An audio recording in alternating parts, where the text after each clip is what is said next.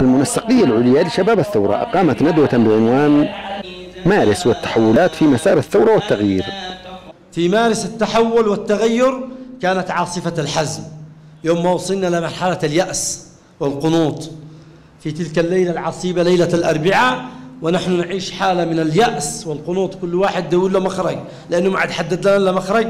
طريق الخوخ ها الخوخ البحر جيبوتي. حتى ما عقلناش نجزع كده سلطنة عمان كان يقول لنا كده. يعني لأنه ميناء المخا فتشنا ويخرجنا من داخل ميناء المخا هذا المعبر الوحيد اليوم أصبح وبالا عليه. ما حصلوش مخرجه الآن. إيه بالعكس. يعني يعني تصدقوني يا شباب إنه لو كان يملك علي عبد الله صالح الطائرات ما إحنا عايشين هنا اليوم. وما إحنا في هذه الندوة اليوم. لو كان يملك لو كان يملك الطائرات واستطاع يعني سيعمل أكثر من بشار الأسد. 21 مارس انضم حماة فبراير للثورة وكان لهم الدور الأكبر في حمايتها وفي عهد الانقلاب أيضا. ولا زالوا يقومون بالواجب الوطني ويحمون الوطن من الميليشيات رغم كل المؤامرات. وجدت في الشمال جماعة الحوثي من عام الذي يقول أنها وجدت مع 2000 أو ما بعد 2000 هذا كلام فارغ. كان مهمتها القضاء على المحور الشمالي الغربي.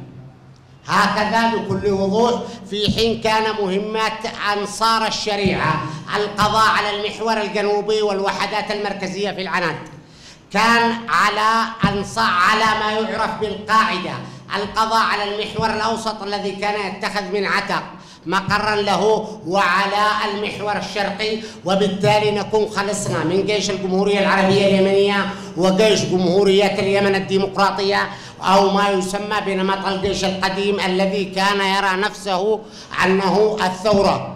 اليوم يقف الجيش الوطني والمقاومة الشعبية على تخوم وأطراف صنعاء. آه يحرز تقدما كبيرا في وكر سلالات التخلف والبغي الإمامية الانقلابية في محافظة صعدة. يكاد يبسط سيطرته تماما. السيطرة الكاملة على السواحل الغربية بعد تحرير المخا وأجزاء مهمة من الساحل الغربي لم تبقى إلا أجزاء من محافظة الحديدة ومحافظة حجة.